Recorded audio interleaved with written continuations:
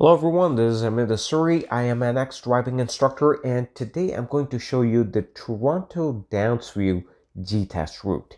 This video was requested by Timothy who has a road test coming up very soon. So Timothy, all the very best. I'm sure you're going to pass with flying colors. Hey, if you have any request for a special video, make sure you leave that request in the comment section below and I'll make sure I make a video on that topic. So without wasting any time, let's go dive into this video and let me show you the route.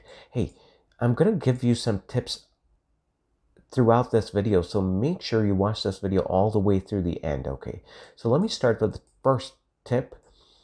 The thing is, right, so you want to park here. Now, there are numbered spots here where you want to park. Don't park in the spots that are not numbered. The spots around here are not numbered. At the back, they're not numbered. Only these two rows uh, are, are numbered. So you want to find that spot and park there. Now, make sure you park facing, um, facing outward, you know, um, so that when you, when you come out, it's easier for you. Hey, you see how many pedestrians there are for here, here, and then here, people waiting. So if you're parked like this guy here, and you have to reverse um, in the beginning of the test, then that's not a good situation, you know. Hey, no matter how good of a driver you are, that nervousness can make you make mistakes. So do not take any chance and park the car like these guys. You know, there's a, always a strategy to pass the test, right? So skills and strategy both come hand in hand. And hey, listen to me. There's a ice cream ice cream truck here, right? Don't go eat ice cream there while the examiner is waiting for you. You don't want to get busy eating ice cream. Hey, uh, wait in the car, put your, put on your seatbelt, and be ready. And then after you pass the test, go treat yourself. By the way, banana split is my favorite. Which one's your favorite? Mention in the comment box below. Let me know. Okay, so um, okay, so when you come out of the parking lot, right, so you go this way, you see where the van is going, hey, eh, make sure you stay on the right hand side, right? So there are arrows clearly marked here saying which way one should go, right? So make sure you stay on the right hand side. So here, you're going to make a left, you know, and when you make a left, stay in the left lane so that you can make a left at the stop sign here. Now you're this this road here is called Carl Hall Road. That's what the address of the drive test location is 37 Carl Hall Road. So you make a left here and you keep driving straight. Now you're going to come across a lot of stop signs here. Make sure you make a full stop at every stop sign. Now just follow Carl Hall Road until you hit the next lights. Uh, the road winds and you will hit the lights. And hey, now there's no speed sign posted here, so you assume a speed of 50 kilometers per hour.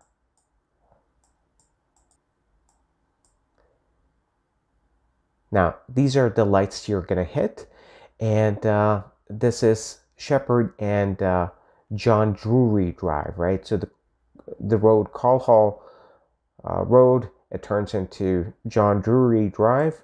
So you make a right turn here on Sheppard. So let's let's go this way. Now, as soon as you turn right, you're gonna see a speed sign here. You see speed limit is 60 kilometers per hour. So Sheppard Avenue West is 60 kilometers per hour. So every time you make a right turn or a left turn, you first want to check what the speed limit of the road is. If you don't see any speed sign, then drive at 50 kilometers per hour. Now, you're going to keep driving straight for for a while before you hit Allen. So, you know, the, it's a long distance between Allen and uh, this right turn that you that you make. So be prepared to make switches. You know, the examiner is going to ask you to make left or right switches, change lanes to the left or right. So be prepared for it and know that Sheppard Avenue West is is a busy street. So, you know, it's it's good and bad. You know, good in the sense, you know, when it's a busy road, you don't have to worry about the speed limit. The car, the cars will be going slower than the speed limit, and bad because you know, on a busy street, if you have to switch lanes, you have to be mindful of a lot of things. So, if you haven't watched my lane change video, then make sure you watch that to get some tips about how to change lanes. So we're gonna keep going straight on Sheppard until we hit Allen, Allen Road. Now, one thing I want to tell you is that before you hit Allen, you know, you're going to come across a lot of intersections. You know, throughout the test, you're going to come across a lot of intersections. So make sure you look left and right when you go through an intersection. So when you're here, you want to move your head left and right. The examiner wants to see that, you know, because they want to see that you're paying attention to the cars on the left and right. You know, there could be cars trying to make a right turn or you know, some cars don't even stop for a red light, they run a red light. So you want to pay attention, and examiners like that more than them liking it. You know, uh, it's it's one of the parameters on the score sheet um, that they they will take points off if you don't do the left and right scan. So make sure you look left and right when you go through any intersection. So here's Allen Road. So we're going, going to go on Allen Road South. So we're going to make a right turn at the lights coming up here. Again, it's a very busy intersection. So make sure you look properly when you make the right turn. There could be pedestrians crossing the road.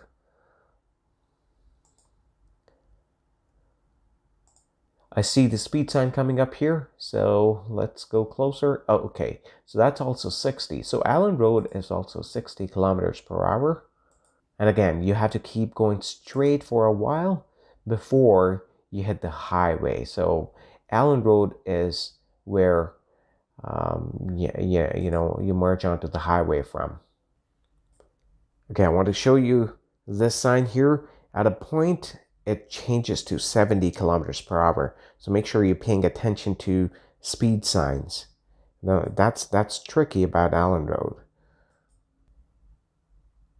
Now if you see a construction sign like this, it says construction up ahead.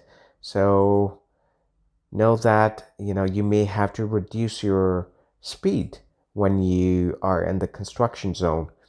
And one thing you want to know about construction zone is that you know the lines turned from white to orange.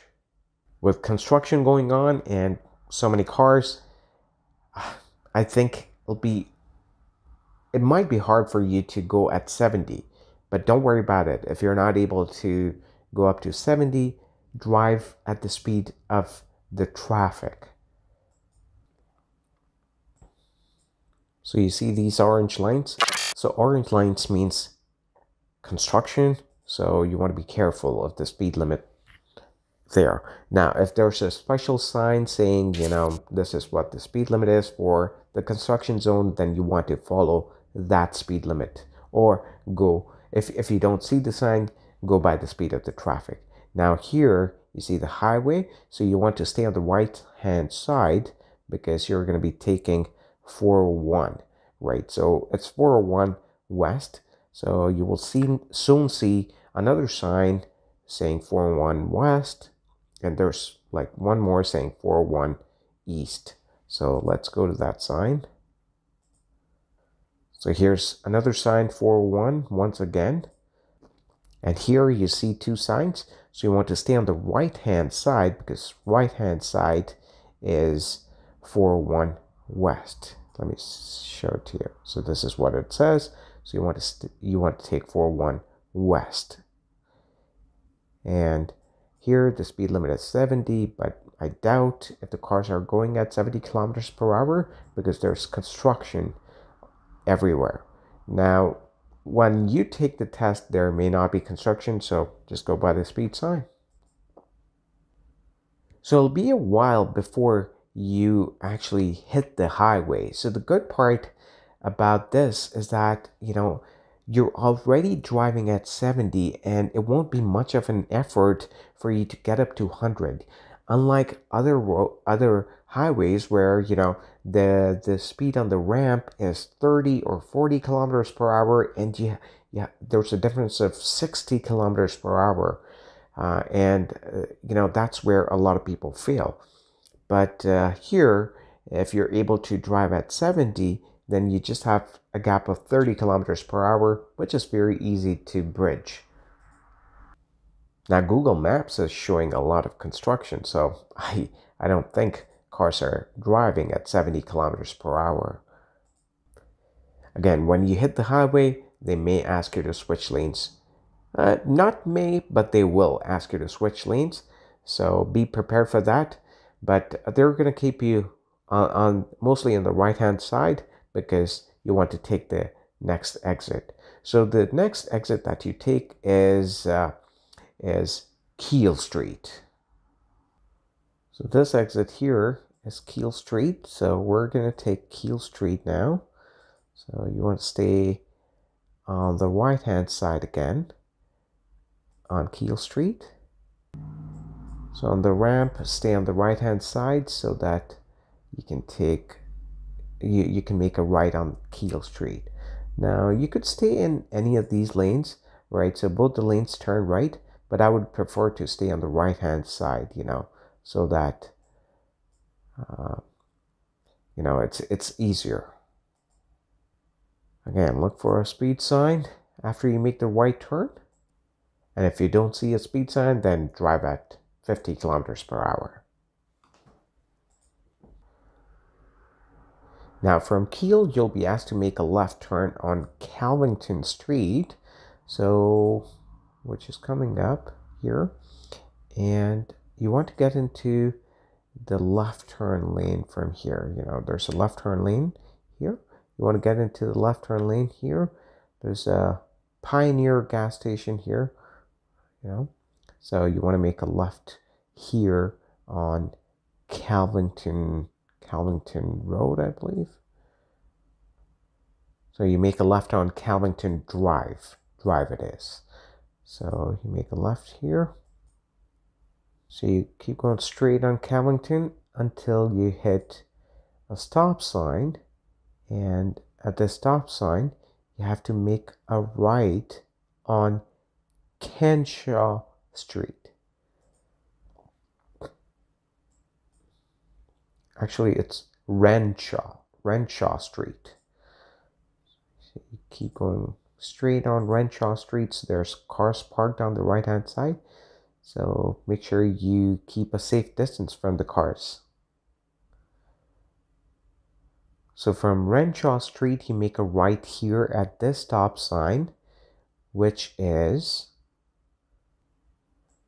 which is Langham Drive. So you make a right on Langham Drive and go straight. And then again at this stop sign you make a right again. Now the name of the street is Bladen Avenue.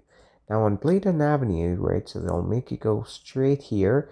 And anywhere here they could ask you to do a three point turn so you do a three point turn to basically make a u-turn and go back now here here's something I want to show you there's a sign here which means there's a school around here. So you want to keep your speed at 40 kilometers per hour, even though there's no speed sign. So you want to drive cautiously. You see, this is the school I was talking about, and there was a sign saying 40 kilometers per hour. Let me go back and show it to you one more time. So here, here it says 40 kilometers per hour, and there's a school here this one. So you go straight here. And then you make a right here on Whitburn, Whitburn Street. So here, make a right.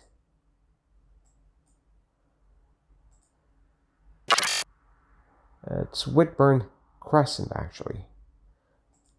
The speed sign is 40 kilometers per, kilometers per hour.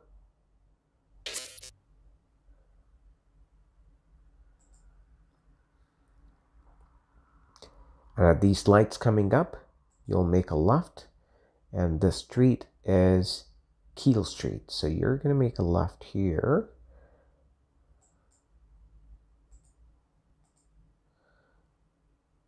Again, after you make the left turn, you look for a speed sign, look for a speed sign, look for a speed sign, and here it is. It says 60 kilometers per hour. So Keele Street does 60 kilometers per hour. Again, they could ask you to switch lanes here. So be prepared for that. And make sure you keep your head moving. Look left and right occasionally. Not all the time like a squirrel. Now from Keele, you're going to make a right on Sheppard, Sheppard Avenue West, right? So this is the sign, park, Downsview Park. So that's an indication that Sheppard is approaching. Well, the sign was also an indication.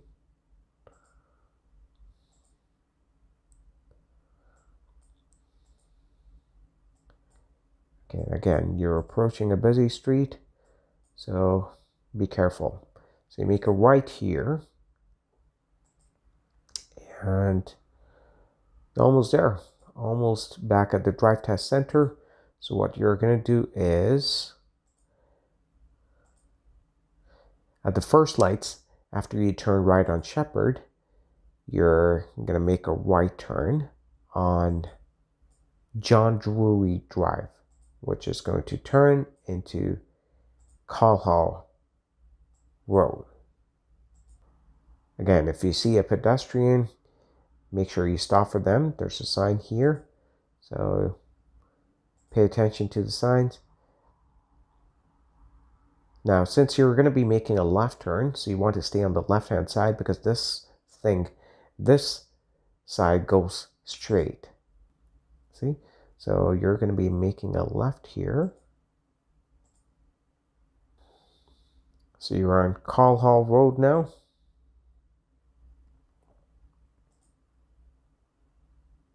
Again, a stop sign here. And next one is the drive test center. So here you are. So here you make a right here.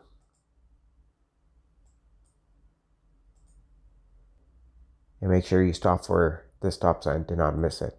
So here they could ask you to turn right here or they'll, they'll take you back here and ask you to do uh, uh, reverse parking if you haven't done parallel parking.